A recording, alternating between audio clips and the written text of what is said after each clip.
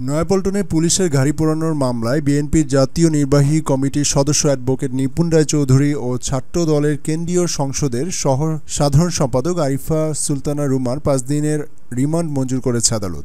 আজ শুক্রবার ষোলো নভেম্বর তাদের ঢাকা মহানগর হাকিম আদালতে হাজির করে পুলিশ। এ সময় বিএনপির অফিসের সামনে পুলিশের সঙ্গে সংঘর্ষের ঘটনায় করা মামলায় সুষ্ঠু তদন্তের জন্য দশ দিনের রিমান্ড আবেদন করেন ডিবি পুলিশ। শুনানি শেষে ঢাকা মহানগর হাকিম সত্যব্রত শিকদার প্রত্যেকের পাঁচ দিনের রিমান্ড মঞ্জুর করেন। এর আগে বৃহস্পতিবার পনেরো নভেম্বর রাতে দলের কেন্দ্রীয় কার্যালয়ের সামনে থেকে বিএনপির স্থায়ী কমিটির সদস্য গয়েশ্বর চন্দ্র রায়ের পুত্রবধূ নিপুণ রায়কেও হাইকোর্ট এলাকা থেকে গ্রেফতার করে পুলিশ। অপরদিকে বিএনপির সহ আন্তর্জাতিক বিষয়ক সম্পাদক সঙ্গীতশিল্পী বেবি নাজদিনকে আটক করা হলেও পরে ছেড়ে দিয়েছে পুলিশ।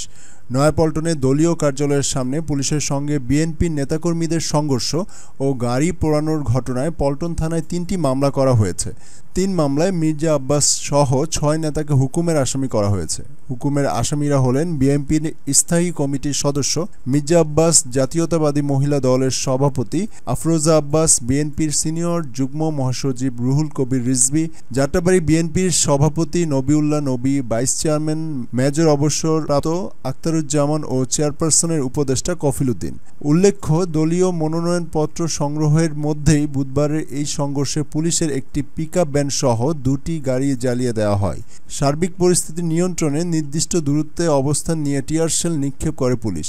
একটি ককটেল বিস্ফোরণের শব্দও শোনা যায়। সংঘর্ষে নারী সহ বেশ কয়েকজন আহত হন। এছাড়া পাঁচজন অফিসার ও দুইজন আনসার সহ মোট তেইশ জন পুলিশ সদস্য আহত হন। ভিডিওটি ভালো লাগলে লাইক এবং শেয়ার করুন। আরও আকর্ষণীয় খবর পেতে চ্যানেলটি সাবস্ক্রাইব করে পাশে থাকা বেল আইকনটি প্রেস করে আপডেট থাকুন সবসময়।